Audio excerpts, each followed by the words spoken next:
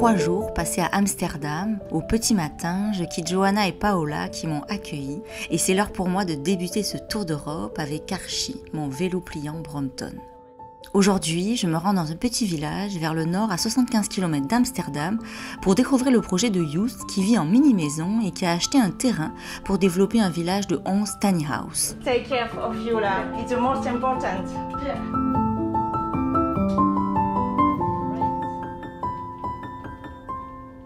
Après avoir passé de nombreux mois à planifier ce voyage à vélo, rechercher des initiatives positives, contacter les gens sur place, préparer les affaires, sous-louer l'appartement, cocher chaque étape de chaque petite chose à ne pas oublier, et bien après tout ça, le moment où on s'élance sur la route en donnant les premiers coups de pédale, sans plus avoir ces choses en tête, est un moment unique. Un moment qui rafraîchit, où l'énergie est au maximum et où on sent plus que tout qu'on fait vraiment partie du paysage qui défile devant nous.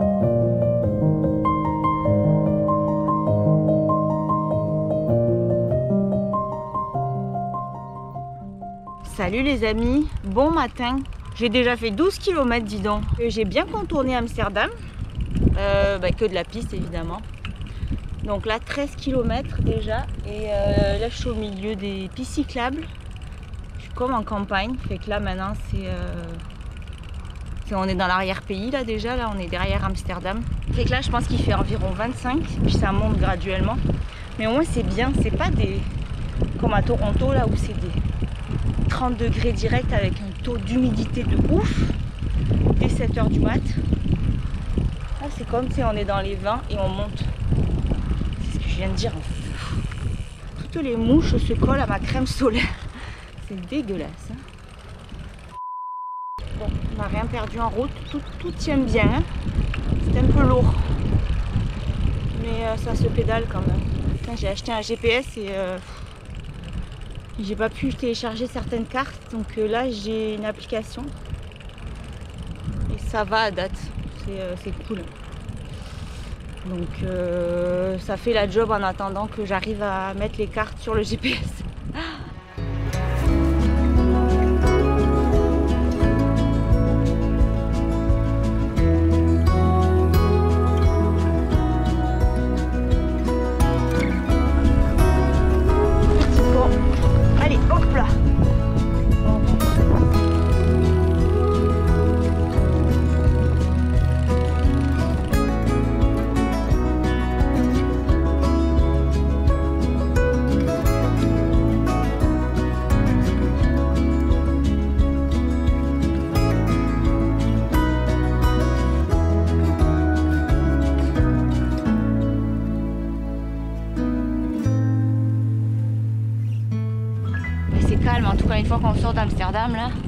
Paix.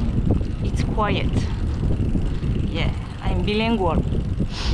Non, pas du tout. C'est deux mots en anglais. Ensuite euh, speak French and euh, speak Spanish.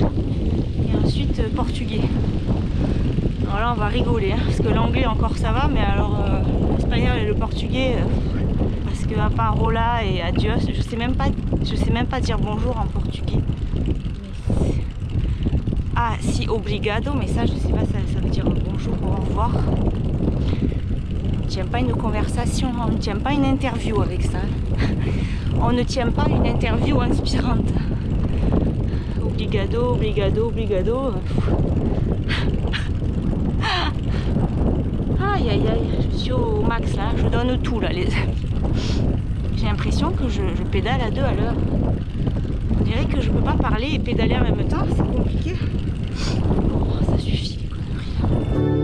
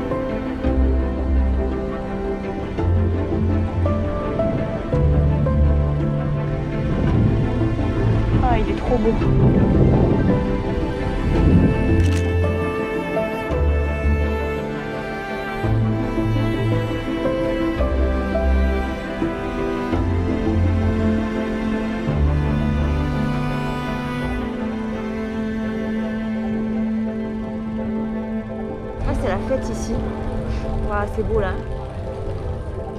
Ces rues là. Oh là là.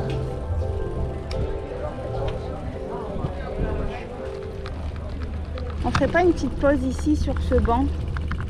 Moi je dis que oui. That's it, that's all. C'est chouchou. Oh, regardez comment c'est beau, il y a plein de voiliers.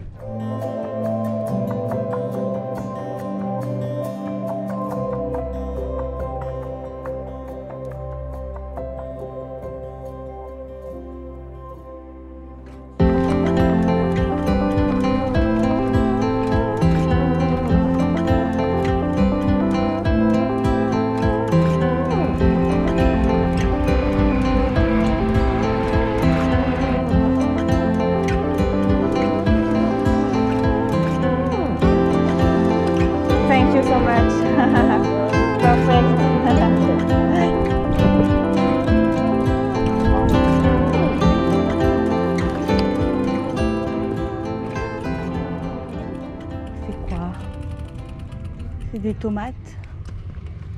Oh, des petites tomates cerises.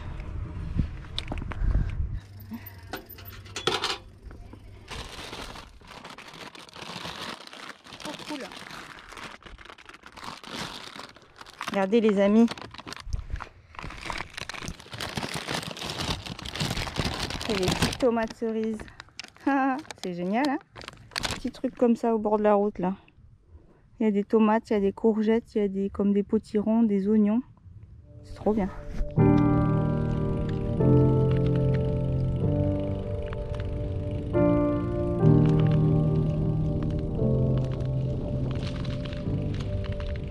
Regardez comme c'est mignon.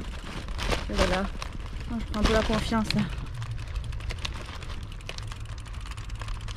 D'accord. Et là, il y a un banc. Il m'attend.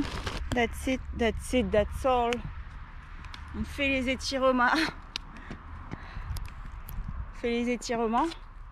Ouh, j'ai mal au cul. Je pense que j'ai mal mis ma selle et du coup, ça me donne mal au cou aussi.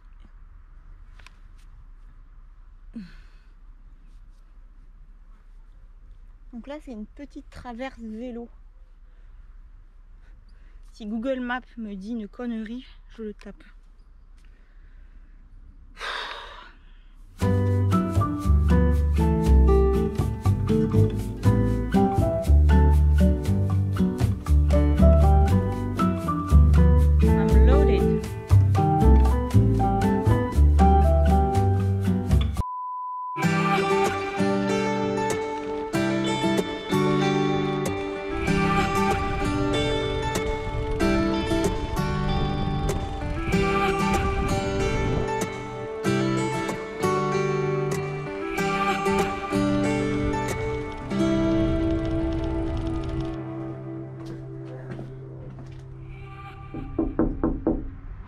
Pas si je suis au bon endroit. Hey. Uh, hey, how are you? Very well. Just? I'm Joost. Aurélie. Good to see you. Yeah, thank you, thank you so much. Yeah, of course. How are you doing? Yeah, good, good, good. This is your uh, Yeah, the setup, the loaded setup. wow. but it's good. It, it's 75 uh, kilometers today. I'm currently cooking and Okay. um, helping in the house. Perfect. Oh, I, I, I, uh, it's, it's wonderful. The, you know, the little market on the, on the way. Like uh, you, you can put the, your money and take what you want. Right? So it's little tomato if you want. Oh, that's nice. Yeah, yeah, yeah, so yeah. much. Yeah, no problem. Coming from the market then. Yeah, it's uh, like uh, people uh, Awesome. who have. Oh, that's Yeah. great. you might use it in uh, food tonight. perfect, perfect, perfect. Uh, Yeah, okay. Make yourself at home and uh, whenever you like a shower, it's Thank you inside. so much. In fact, maybe uh, we'll have meals. Perfect. Youst a vécu pendant trois ans dans cette tiny house posée sur la ferme familiale. Il est en train de la rénover, il y vit plus actuellement, mais il vit dans une autre mini-maison dans le village d'à côté.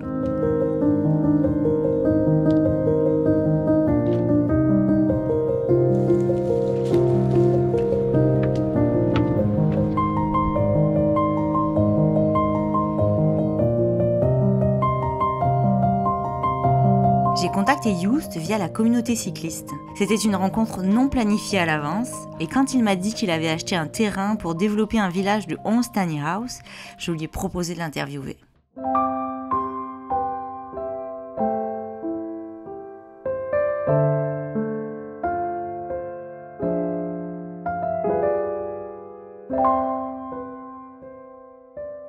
Was three and a half years ago when I came back from a travel. I walked to uh, Santiago de Compostela in Spain.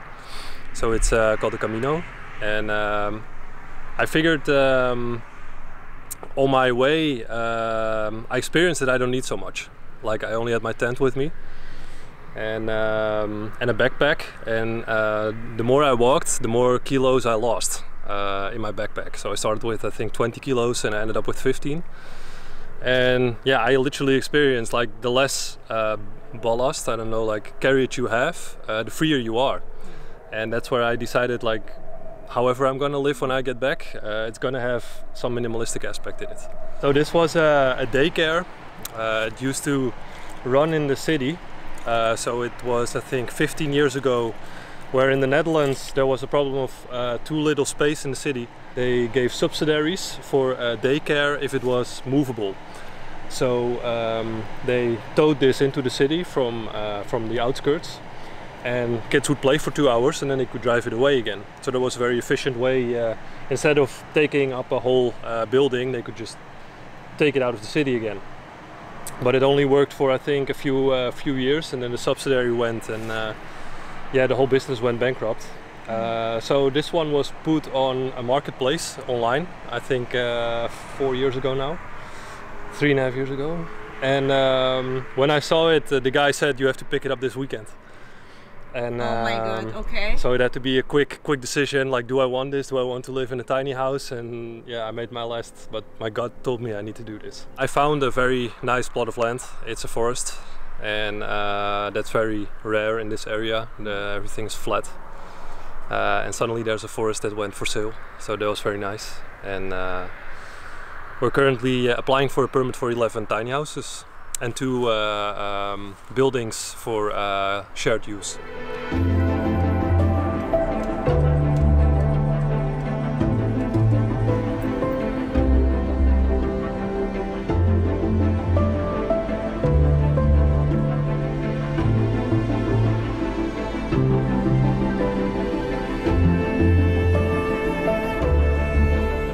Was during Corona times where um, yeah, people would all sit inside and they were like, oh yeah, it's a lockdown, so we can't go anywhere.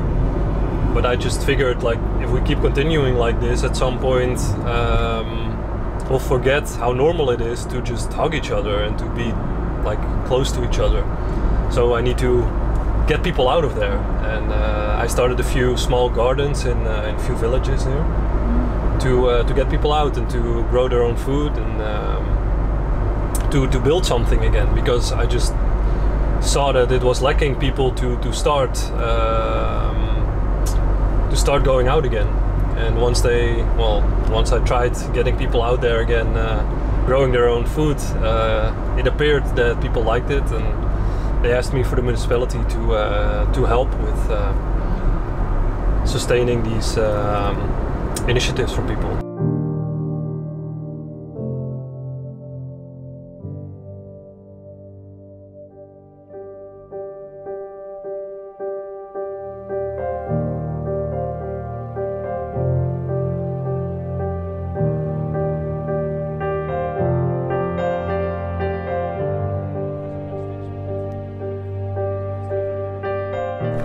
Reason we can build a tiny home community here is because we obey to that uh, um, uh, to the exploitation of nature.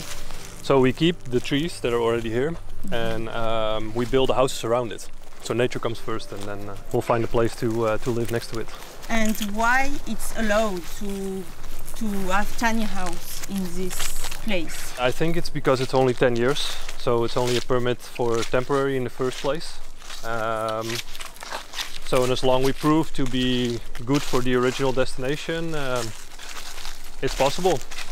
We still have to do on safety um, procedures, of course. The ambulance has to be able to get here mm. and uh, all the yeah. safety procedures we have to follow. We bought this land a few months ago and uh, we're asking a permission to build 11 tiny houses here.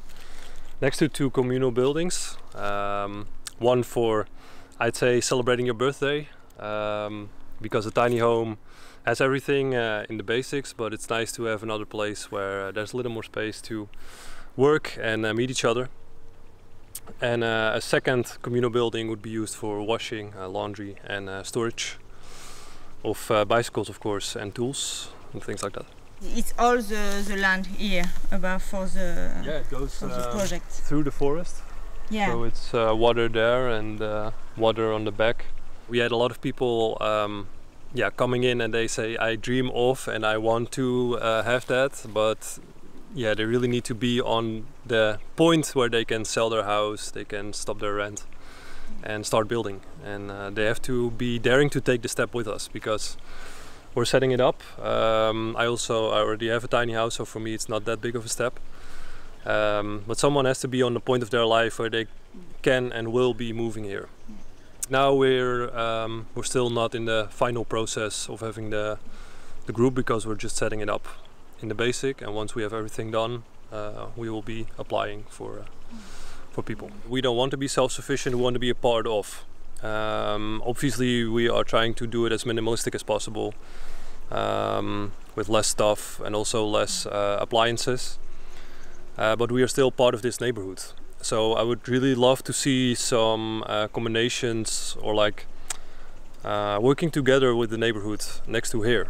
We wanted to build a, um, a playground here for children because that's something that's lacking in the neighborhood. And uh, the first question they ask, like, what is it bringing me? Well, let's see, let's find out. What can we do together? Uh, what is something that we can both have um, positive influence of? And also the recycling of uh, green material. We want to do composting here and use it for a big uh, communal garden. So this whole uh, football field will be used as uh, communal gardens. And uh, the um, yeah, what we get from it will also be given to the, the people that live next to it. I think Koeteldijk is unique because uh, other tiny house projects uh, have been renting their place from the, count, the county or the municipality. Um, and we bought the land ourselves, um, which makes it easier to, um, yeah, to set rules for the tiny houses ourselves. So the municipality will still have safety legislation, um, but we have the uh, commitment to go after 10 years. We want to continue, and that's easier if you have your own land. So we have one spot here for a tiny house to uh, stay. Perfect. Yeah, and you don't uh, want to uh, remove uh, trees, so No, Yeah. only if necessary. so the tiny house will be all around the the terrain. Yeah. It's really into the forest. This right. Wow. And then here is another spot where a tiny house will be placed. Of course, there needs to be removed some shrubs yeah, before yeah, yeah. someone can uh, go in there. But there's one there and one here. It's cool because you have you have come like two space, like uh, an open space for garden, for activity with um, maybe neighborhood, like you said, Yeah. and, and another place to just forest and just keep quiet. Yeah, really for silence. Place like this is, um, I think, the perfect example of living in between the trees. I don't know if you can see it, but I could see myself living here. That's for sure. Les